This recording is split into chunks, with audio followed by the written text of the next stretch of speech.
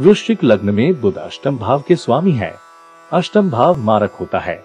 इसलिए बुध आपकी कुंडली में कारक नहीं माने जाते। लेकिन बुध की मूल त्रिकोण राशि आपके लाभ भाव में आती है। इसलिए इनके महत्व को जानना ज़रूरी है। वृश्चिक लग्न वालों को बुध का रत्न नहीं पहनना चाहिए। वृश्चिक लग्न वाले लोग बहुत जिद्दी होते हैं। ये लोग अपने काम का हमेशा ध्यान रखते हैं और ये अपने काम से काम रखते हैं। कोई इनके विरोध में बोले तो ये बहुत जल्दी गुस्सा हो जाते हैं।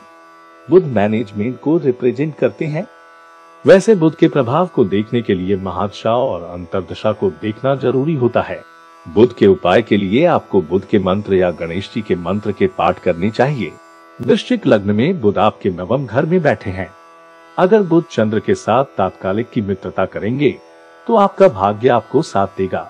आपको जीवन भर धन की कमी नहीं होगी। आपका पराक्रम बढ़ेगा। लेकिन अगर बुद्ध चंद्र के साथ शत्रुता करेंगे तो आपको भाग्य का साथ नहीं मिलेगा। फिर भी आपके छोटे भाई बहनों का सपोर्ट तो आपको मिलता ही रहेगा।